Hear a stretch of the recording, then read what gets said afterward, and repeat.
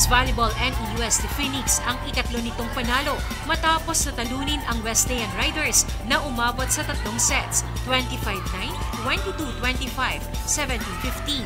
Pinangunahan ni Ann Mauro ang Phoenix na nagtala ng 10 puntos.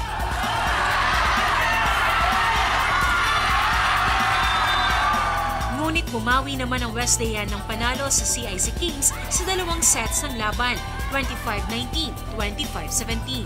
Tumipa ng 11 points si Aliyah Gonzalez para sa Riders.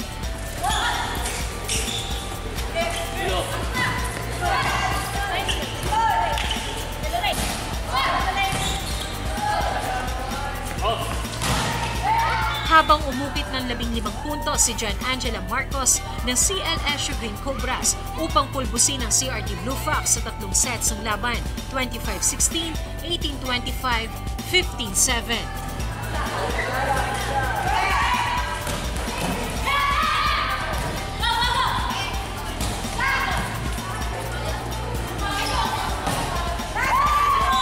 Standing para sa women's volleyball as of today, November 6, 2019, nasa top spot ang NEUST with 3 wins, 0 loss, CLSU 2 wins, 1 loss, WUP 1 win, 2 losses, CIC 1 win, 2 losses, at CRT 0 win, 2 losses.